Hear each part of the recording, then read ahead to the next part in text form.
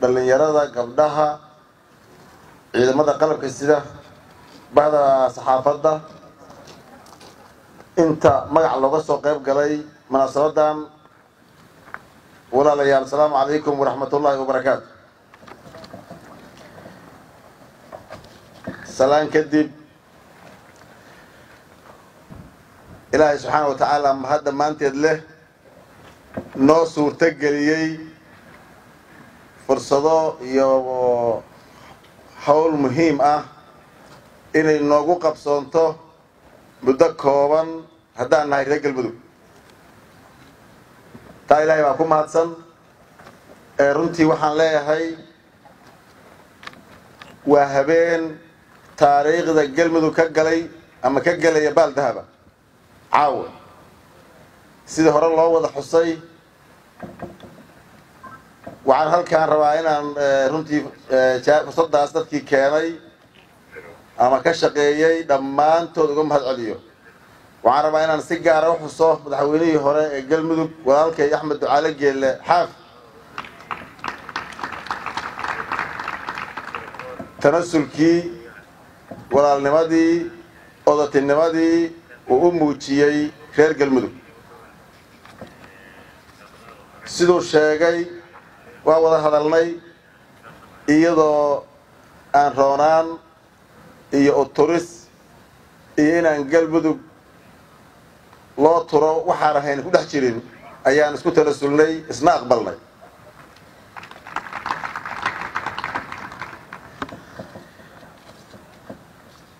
Waa oday galmudug waa aabihii galmudug waa runtii taariikhda xusi doonta hawshii uu soo qabtay oo ay ka mid tahay isu imaad galmudug la isugu keeno caasimadeeda inuu dhidhibada u aasay axmed ducaale geelle.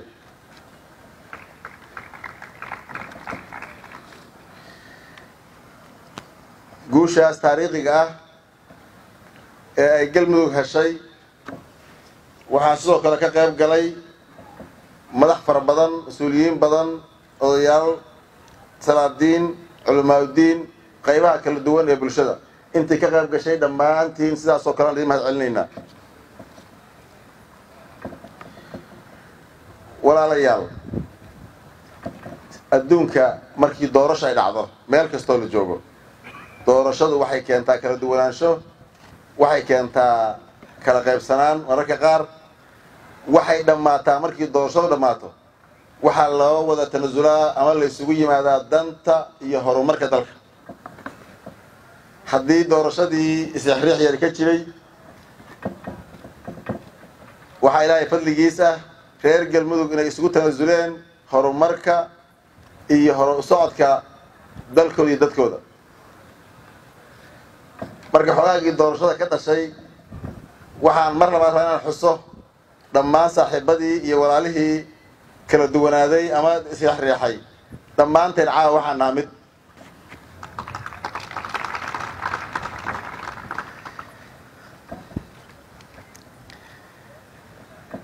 waxaa halkan nagu soo dhammaaday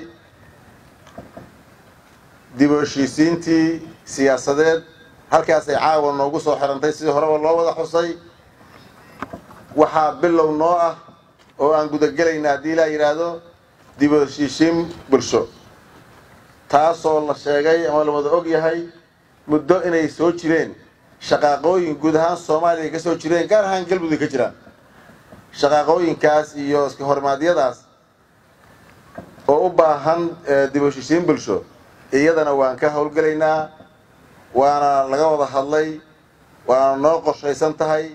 Qayb ka midana waa soo waa soo qabsoontay sida huursho iyo xaraale oo caaway nabad buuxda aan uga fadhino haddii laa yidhahdo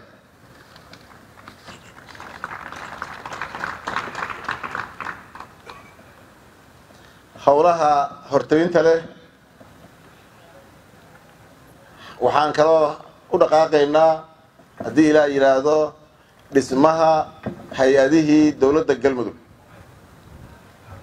Waxaa qorshaheenu yahay hay'ado adag tayo leh ammaano leh galmudug meeshay u socota gaarsiiya. Inaan u soo dhisno haddii ilaa yidhaahdo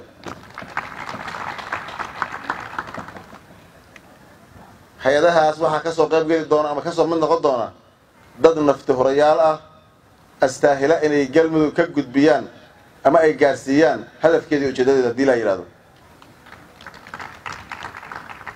dad badan oo laga yaabo inaydnaan caawa u malaynayn ayaa hoggaanka ka soo qayb geli doona aanan ku kalsoonnahay inay nala xaqiijin doonaan hadafka iyo ujeeddada aan leenahay haddii laa yidhahdo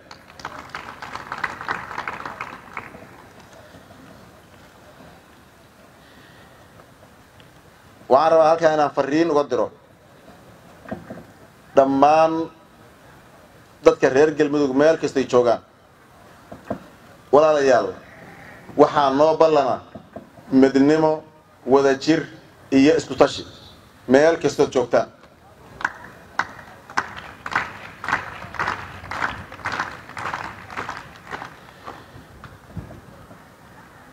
Waa isku filannahay wax badan baanan qabsan karnaa wax reer galmudug haystaan iyo soomaali meeshaad ugu jiraanna waa la og yahay waxaan la soo baxaynaa kartidii iyo dadnimadii iyo tiirdhexaadnimadii lagu yaqaanay reer galmudug. Meel kastoon joogno gacmahan aan isqabsanayna insha allah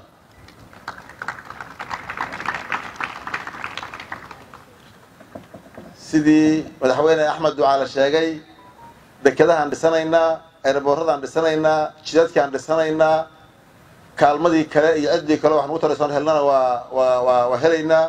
Isku tashi si buuxana waa waxaan leeyahay ku talagala u soo istaaga gacmahana isqabsada. Wax walbaan gaaraynaa wakti kooban gudihiis haddii laa yidhaah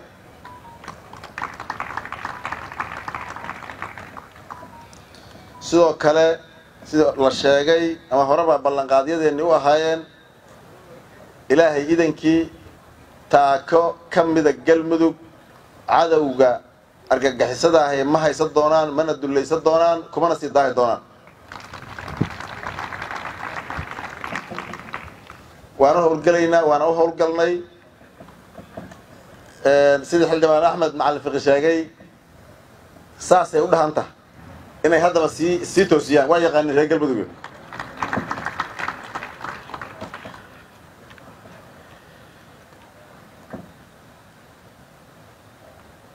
dowladda galmudug waxay u taagan tahay hadafkeedu yahay midnimada iyo wadajirka ummadda soomaaliyeed iyo xoogeynta iyo xoojinta dowladda dhexe ee soomaaliya.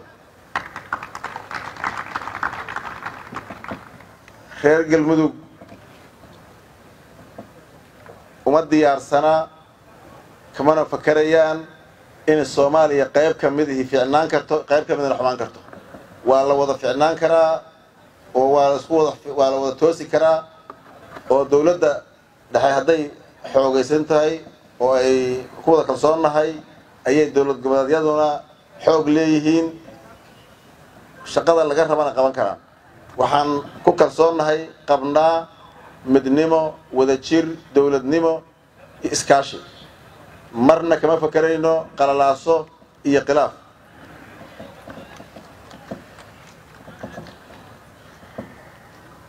waxaan diyaar u nah inaan gacan ka geysano khilaafyada jira ee ka dhexeeya dowladda federaalka soomaaliya iyo dowlad qaarkood.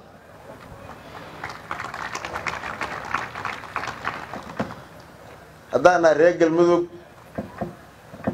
qabadkeedna waa leenahay isu keenisteeda fakerkeedii kartiyeedana waa leenahay dowlad jacayl iyo midnimo jacayl soomaaliyeedna waan laku yaqaan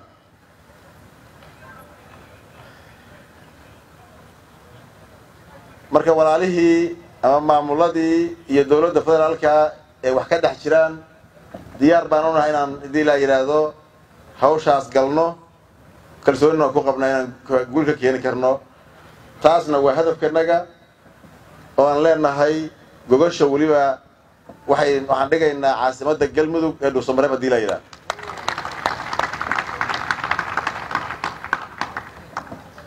annaga gacmeheennu waa dhaqan yihiin cidna khilaaf nagalama dhexeeyo dowlad goboleedyada dhammaantood wax nagalama dhexeeyaan dhiba. Kuwa aan dariska nahay oo od wadaagta nahay wax nagalama dhexeeyaan dulqaadka nagana waa la tijaabiyo waad ogtihiin dhowr jeer in meel nala ka xagtay oona cid noo jawaabin.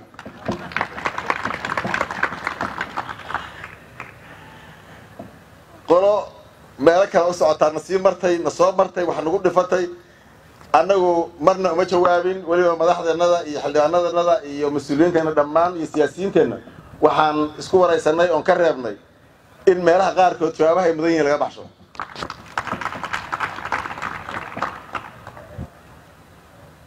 Sidaa darteed innagaa ugu habboon cid gogol dhigta soomaali isu keenta khilaafkana bixisa. Marka qolooyinkii istaataabtay oo isma xallin kartaane gogosha gusamareebtaal oo tijaabadeedii reer galmudug lixdan cisho ka yar wixii khilaaf iyo qalalaasa lagu ogaa ku dhammaystay tan kalena waa ka dhowdaaya reer galmudug waa la xama jire soo diyaar garooba gogosha waa diyaare.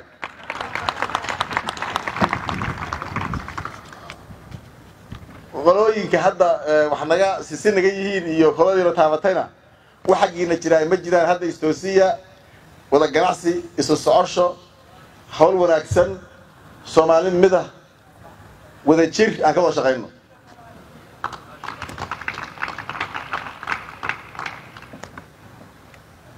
weliba madax walaalahay ah. Ma raba inaan hadda hebel idhaahdee oo wax dagaal badani ku jiro. Dagaalka yuusan meel walba idinla gelin. Dagaalka yuusan meelo badan taaban. Intaas ha lagu siro. Waxyaabaha labada dowlad dowladeed iyo dowlad goboleed iyo dowladaha dariska kala dhex jirana si nabada walaalnimo ah xasilooniya kudayasho leh aan ku xalino oon ku dhammayno.